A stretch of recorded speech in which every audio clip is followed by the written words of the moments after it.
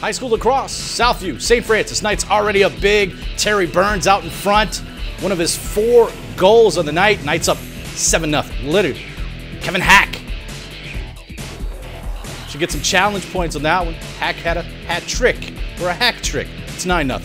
Noah Best, big game for St. Francis. The long shot finds the net. He had four goals. St. Francis wins 22 1. Be sure to watch Sports Nightly weeknights at 10:30 on BCSN and follow us on Twitter at sports underscore nightly.